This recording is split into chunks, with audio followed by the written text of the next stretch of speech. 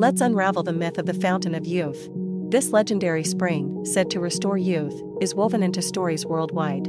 But did you know the first recorded mention is from Herodotus, a Greek historian, in 5th century BCE? Fast forward a thousand years, the myth gains momentum with Spanish explorer Juan Ponce de Leon, said to be searching for it in what is now Florida, USA. But wait, plot twist. Despite popular belief, there's no historical evidence that Ponce de Leon was even looking for the fountain. Historians believe it's a tale tacked on later. Even today, the exact location of this legendary fountain of youth shifts with each story. An elusive legend that continues to captivate us. Until next time, keep uncovering the mysteries of history.